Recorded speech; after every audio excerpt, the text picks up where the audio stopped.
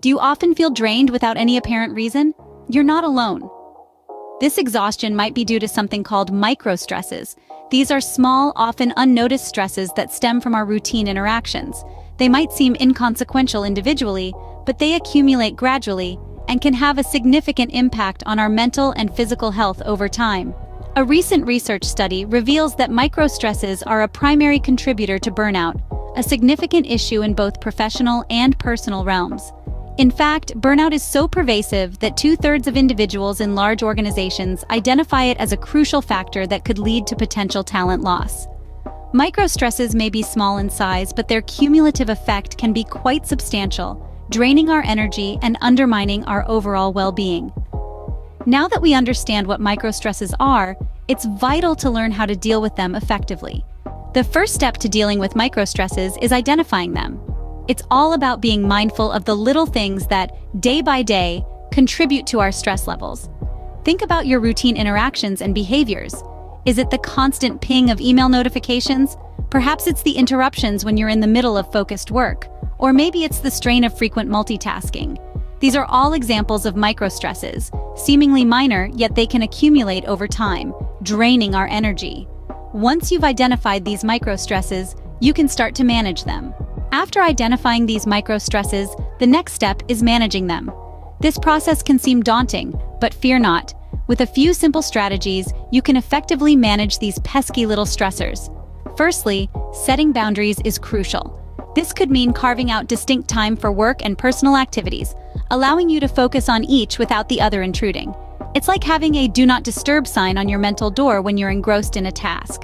Secondly, prioritizing tasks can significantly reduce stress. This involves ranking tasks based on their urgency and importance. You'll find that not everything is as pressing as it seems, and this can be a real stress reliever. Lastly, it's essential to take regular breaks for relaxation and rejuvenation. This could be a five-minute meditation break, a quick walk around the block, or even a cup of your favorite tea. It's about giving your mind a moment to rest and reset. Remember, communication is key in setting these boundaries. Make sure your colleagues, friends, and family are aware of your boundaries and respect them.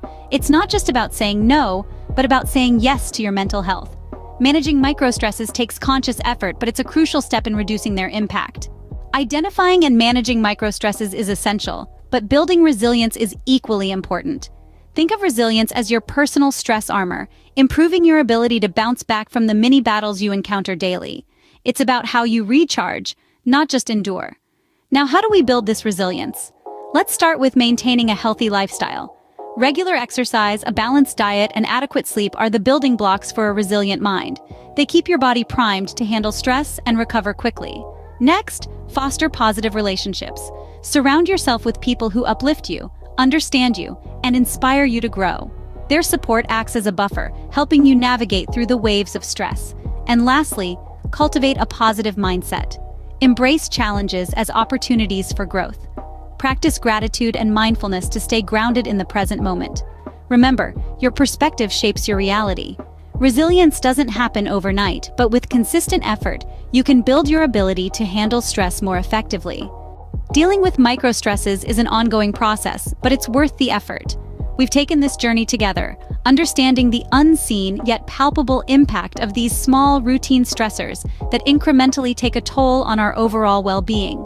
We've unveiled the concept of microstresses and the surprising fact that these seemingly insignificant interactions can accumulate and lead to burnout, a major issue both in our professional and personal lives. We've learned that the first step to managing these microstresses is identifying them. By becoming aware of their existence and their source, we've taken the first step towards controlling their influence on our lives. Then, we dived into managing these microstresses, exploring practical techniques to reduce their impact. We learned that we have the power to control our reactions to these stressors and can employ strategies to reduce their frequency and intensity. Finally, we talked about building resilience. We discovered how cultivating resilience can serve as a buffer against microstresses, helping us bounce back from adversity and maintain a sense of well-being even in challenging times. But remember, Managing microstresses is not a one-time task. It's an ongoing process that requires consistent effort and commitment.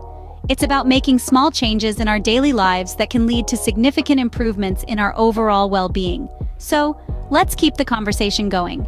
Let's continue to explore, learn, and grow together. Because it's together that we can build a supportive and resilient community.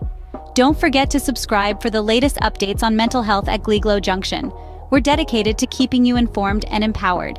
Take care and remember, together we can build a supportive and resilient community. Stay tuned for the next Gleeglow Junction.